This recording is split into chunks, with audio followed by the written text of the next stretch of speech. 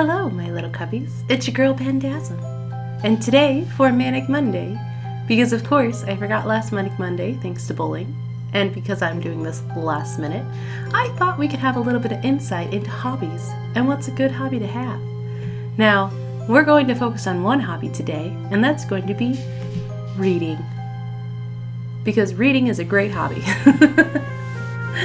Today I thought, my little cubbies, that I would recommend to you five of the books I have already read, um, and if they are part of a series, the series itself.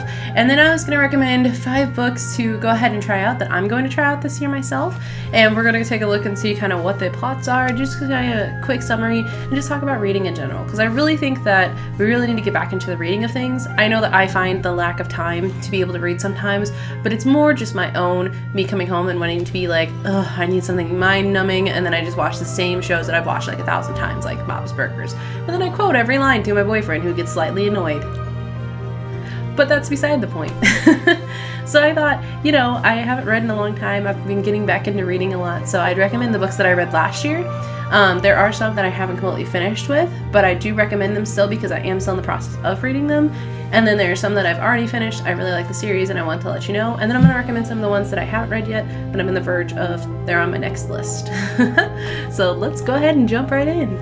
All right, so the first book I'm going to bring up here um, is by the author Becca Fitzpatrick, and it is called Hush Hush. Now, it is a uh, four part series. It's really, really good.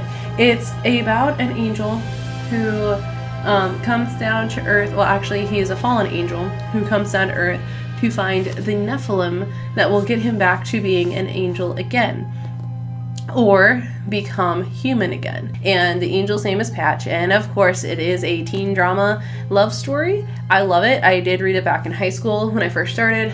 I would read the series so many times in a row, and it is still my favorite. Um, the first book is definitely one of my favorites overall. I think the second one is a little more kind of makes you hate characters, which which series doesn't.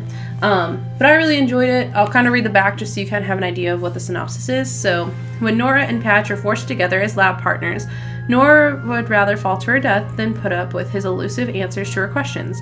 His teasing and his infuriatingly handsome face and hypnotizing eyes. It seems Patch was put on Earth to drive her crazy. But before long, Nora's defenses start to break down as her curiosity about Patch heats up. Why does he always seem to be wherever she is and know exactly what she's thinking? How does she know what to say to both attract and repulse her? What is up with those V shaped scars on his chiseled back? As their connection grows stronger, Nora's own life becomes increasingly fragile. Nora needs to decide is Patch the one who wants to do her harm or the one who will keep her safe? Has she fallen for one of the fallen? Becca Fitzpatrick's New York Best Times de- best-selling debut is a page-turning leap into the unknown world of fallen angels. Do you have someone to catch you? Do you? Anyway, I always really enjoyed it. Again, it is uh, more of a team-based novel, and it is a romance, but there is a lot of action, and there's a lot of angels and um, fallen angels and Nephilims, which are like half-blood angels, and just fighting and you know, it's really, really cool. It's one of these really great series that I really recommend if you like the supernatural kind of stuff, as well as if you really want a cute, love romancy and you like that dark, mysterious guy. It's Kei Sanbe It's a series called Erased. It's actually only, um, I believe it's five books long, but the fifth book is only like extra stories, where the actual uh, manga is only four long. It's really good. I really enjoyed it. It is about um, a guy who can go backwards in time and stop things that are about to happen. So he sees it happen and then it will throw him back in time against his own will and then he has to fix what is wrong. So he ends up going back to when he was a child and he has to fix the death of a, of a girl who died in his class and it was a mysterious death who nobody could figure out who it was that killed her, what was going on. It's a really intense story. It's actually a really nice read. It's not very long. It took me a little bit to read just because I was reading it in between doing my work.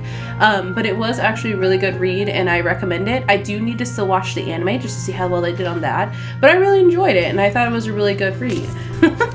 I enjoyed it. It was actually, like I said, not too long of a read. I thought it was really, really good. If you want more of like, um, it's not really romancy. It's more of like exciting, um, actiony, and just kind of like like crime story, but like not full crime story. Although you are guessing like who is it, who did it, who do you think could be the culprit, um, and it's really interesting to see like how he comes to these conclusions and what he can do, even just as an 11 year old child. All right, so next one I recommend. This one is not a series, but it is an author I've mentioned before. So in my comeback video, I did mention this one. So it is Junji Ito, because Junji Ito is amazing, and I love him to death. Um, I did read this one. It is called The Cat Diary, um, about Yon and Mu, and it's literally just about his two cats that he had, and one of them actually did pass away, unfortunately. Um, but it's really cute. It's just another manga that he drew. It isn't his style, so it seems a little like horror like and very scary, but actually, they're just really cute stories about two cats that are just ridiculous and just go around doing silly things. I recommend it just because, again, it's one of those really short reads. It doesn't really take long to go through. I did it like in like one night, maybe like 20 minutes not even, probably like 10. But it was a really cute read. I enjoyed it. I'm glad I bought it. It's not even, it wasn't that expensive either. I got it for like 11 bucks at um, oh, which place did I get it? Anime Egg Roll, one of my favorite and going to make me broke places. Deuces. Um, the next one that I would recommend is Tokyo Ghoul. I have not finished. I am terrible. I am sitting on book 8. There's only 14. It's not that hard to read. Again, it just takes me forever because I try and read in between calls. Because when I get home, I don't necessarily have all the time because I'm doing videos for you guys or trying to edit or trying to take care of my crazy animals that I have. So sometimes I just don't find the time. But I do recommend Tokyo Ghoul. It is very actiony. Um, it's about, well, they're called ghouls, but pretty much a vampire type uh, theme person. So instead of actually just draining the blood though they eat people so it's kind of cannibalism in a way but i think it's really cool um, i really enjoyed the main character he has a lot of turning points and i hear he turns more than what i've already seen him turn um, to just an amazing character that you really i don't know if you like him or hate him I just know there's, I think, like different opinions on both sides of the plate. Right now, I love him, so I don't really know what's going to happen. I've been very much enjoying this, though. He ends up becoming a ghoul because a ghoul is chasing him and is about to kill him, and instead she dies, and then he is on the brink of death, and so they end up transplanting her, I think it's her heart, if I remember correctly, into his body it might be his liver. It's something. He, they transplant something, maybe a kidney. They transplant something of hers into his body. The blood pumps through his body, which is why I think it was his heart. I can't remember. I'm so bad now. Um, but they put her into his body and then he becomes a ghoul. So he's not full ghoul, he's only half ghoul. And then it becomes a whole thing of him having to deal with things in the ghoul world as well as trying to also live a normal human life because he never actually went away in the human world where most ghouls are pretty good at blending in or just kind of stay hidden. So it's really interesting. Like I said, I've only gotten to eight. I can't wait to watch the anime. I think I watched one episode before I started reading the manga, and I was like, ah, no, no, no, no, no. Let's pause this. I want to read it. All right, so the last of the five that I'm going to recommend that I've already read to you is again another Junji Ito book. It's not a series. This one is a book on its own. It's called Gyo. It is literally about these mechanical things that have taken the fish in the sea and they have literally made them come back to life and start chasing to eat people. I don't know what page I flipped it open to. They are crazy. It is nuts. And there is a meme out there that is a giant shark trying to bust through a door on these mechanical legs that look like spider legs. And it is from this book. I really recommend it. It's again a very uh, horror written series. I love Junji Ito. I love horror. Um, he's one of my favorite authors now. Ever since I discovered him, I own pretty much almost every one of his works except for a couple that I just can't seem to find or they're just way too expensive to try and buy in the US because they're not available here yet. Um, the one that I still have yet to read is in my pile of recommendations that I'll show you in a minute, um, but I've pretty much read all the ones that I own. This is not a series, like I said, although if you get Gyo, there's also Tomie and Uzumaki that come in the same style. So I bought them all in this very similar looking style, um, and I really enjoy them. I think they're really cool.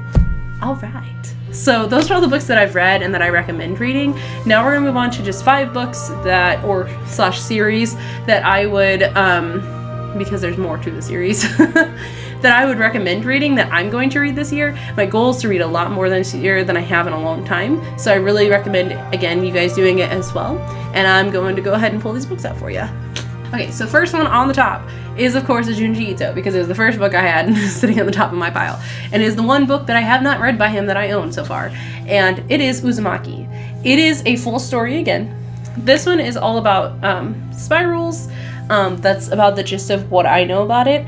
I have not gone too far into knowing what it all is. I will read what's on the back there so you kind of get a synopsis. I have seen some small things from this book, unfortunately, as like memes and just pictures because I kind of zoom around just to look for his artwork because I love Junji Ito's artwork.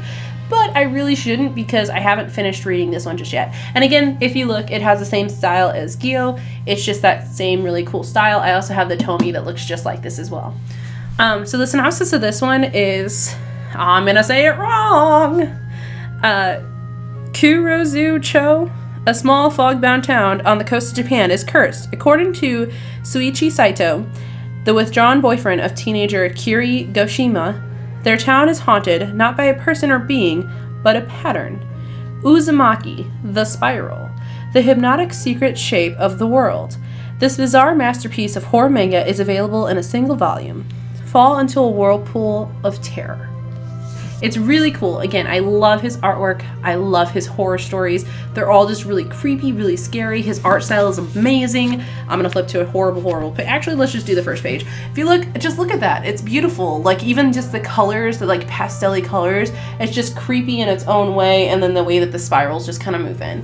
And I'm sure you guys have probably seen some every once in a while here and there if you're kind of looking around the internet. Um, but again, he's just a really great author. I enjoy him. This is probably one of my next up to read. I just have not gotten there yet. okay, so the next one that I'm going to recommend to read is another manga. Um, it is by, I'm going to say it wrong again, Makoto Shinkai and the art is actually by Yukiko Seike. There is a book, but I did not get the book. I got the manga um, manga, whatever. Um, it's called Five Centimeters Per Second. It is a love story. Um, it looked very cute, which is why I got it. It's all just one story in this one big book. It is a little thick, um, but again, it is because it's all the art drawn out. Now, I do also have another book that was similar where it had the art drawn out, but I actually got the book version. It's called I Want to Eat Your Pancreas. It's really cute as well. It's also another kind of like lovey story. Um, that one's more about a girl who's dying because her pancreas is killing her. Um, but it's really cute. It's just kind of her going through like her stages um, with this boy who is the only one in her school who knows that she is on the verge of death. Uh, this one, on the other hand, though, it's just about these two that actually end up falling in love, and they don't use like modern sources. It sounds like. Again, I'm not really good at knowing what this is entirely about, just because that short synopsis it sounded really good to me. Um, I love love letters. I think they're so cute. So going back to a time when love letters were a thing, I think that's adorable. I remember passing notes in class to all the kids. And no, I didn't necessarily pass any love letters. Um, just because I didn't get rejected in class and everybody see it because everybody's nosy. But I did have fun passing notes, and this kind of what this reminds me of. So I always like those cheesy movies where they pass notes. They're like, "Hey, do you like me? Check yes or no." so I really hope it's something cute like that. I can't wait to read it. Nah, I can't wait to read it because I can't talk today. Um, but it looks really cute. I like romance stories, so I think it's going to be a really good one. All right, so sticking with our romancy theme because I really like them romances, man. I can't help it. I'm a big romantic, and so romances are one of my favorites. I actually have watched this manga um, as an anime, but I haven't fully watched it because with this book, um, I did read or I did watch the anime and I really enjoyed the anime, but they only got so far and then they quit. So I really wanted to read the manga. So for Christmas, I got this. And I don't have all of them just yet. They are on the way. A friend of mine ordered the rest of them, but they just haven't shown up yet.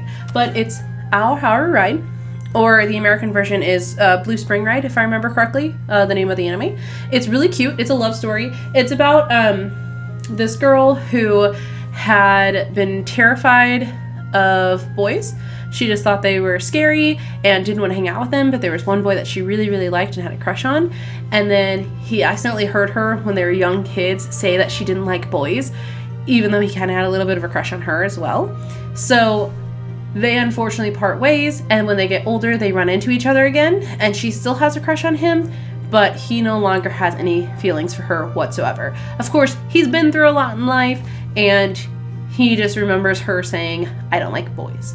So, the series starts, um, kind of does a little bit of a flashback to when they're kids to show this, and then it starts right away when they're back in high school and they meet each other again, and then it just kind of goes from there. So, it's about their relationship and kind of like what happens between them and what's going to end up happening. I really hope they end up together because honestly, again, I haven't finished, but I think it's a really cute series. Um, if you haven't checked out the manga or the anime, I recommend both.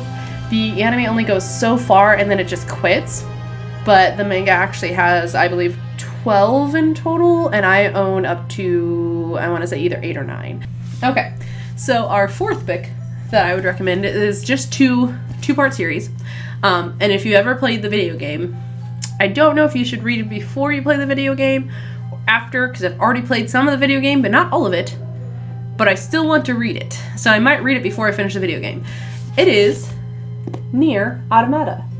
Now, I did dress up as um, Oh crud, what is her name? Is it B2? Oh, your name? From Pod, blah blah blah blah blah. Okay, well, I kind of forget.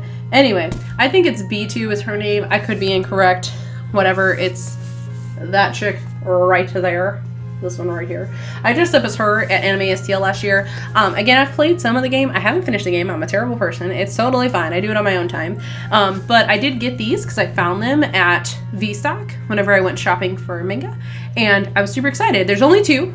And um, I don't think it matters which direction you read them in. I could be wrong. They do form a face. So I assume you might want to read the black one first and then the white one. Um, but one is just called Short Story Long and the other one's Long Story Short.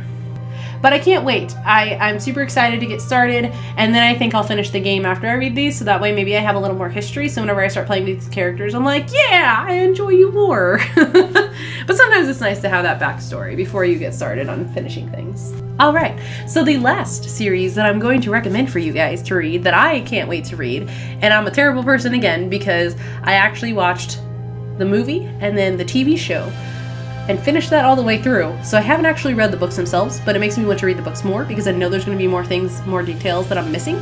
But I'm super excited for um, because I started collecting the very crappy used versions and then for christmas i got the really cool version that makes a picture just like the harry potter books make the castle for harry potter um, i got the city of bones uh, I forget her last name, Cassandra Clare, that's it, by Cassandra Clare.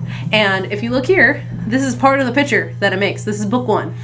So they make the really cool, um, like, it's like a picture of them by the bridge with a whole bunch of monsters that they have to do. So this book is about, um, oh crud, what is her name now? Clary Fray, thank you. I had to look at the back of the book. So this is about Clary Fray. She finds out that she is a part of what's called the Shadow World, and she is a shadow hunter. So shadow hunters face like demons, wizards, warlocks, stuff like that, and they have to uh, put them in their place if they're misbehaving. So they have to get rid of them. You know, vampires, stab them, hunt them down hence the shadow hunter part. So it's a really good series because what happens is she finds out she's a shadow hunter whenever she meets this boy who only she can see, and then things get weird. So he kind of starts popping up. It is a little bit of a romance. However, there's a lot of action play in this. Um, there's some deep dark secrets that come into play. It's really cool. Again, it's like like angel demon thing. There's a lot of like angels that come into play in this because the shadow hunters are actually descendants of angels and it's really cool i would check out um, the tv series after you read it just because I was an awful person and I didn't read it before the TV series. There is a movie. Um, it has a completely different person than the TV series, but there is a movie. It's Immortal Instruments, City Bones. And then there is the TV series, which is called Shadow Hunters, is what the series is called. It's really good. I really enjoyed it. I watched it up to the very end. I cried. It was beautiful. It made me really want to read this just because I know there's going to be more details that I missed in there. Um, but it's a really exciting story. All right, my little cubbies, that is all the recommendations and books that I have already read so far. Um, again, I, I would recommend checking out any of those books. I will try and throw up descriptions of anywhere I can find them online for you guys to check them out. Uh, more than likely, probably Amazon because That's my go-to spot. Or um, Barnes and Noble is one of my other favorite places to go to for a lot of things. But I really hope you guys recommend uh, me some of the books that you guys are reading. I really want to read some more. I do have a lot on my plate, but I really want to get started on reading hopefully quite a few books in a week um, just so that way I can kind of get back into the swing of things. I love reading, I miss doing it. It's such a great hobby and it really does take my mind off of things. But hey, my little kippies, that's it for Manic Monday. So I hope you guys enjoyed. Don't forget to hit the like and subscribe button down below. Don't forget to hit the notification bell so you know when these videos come out. And hey, my little cubbies, until next time.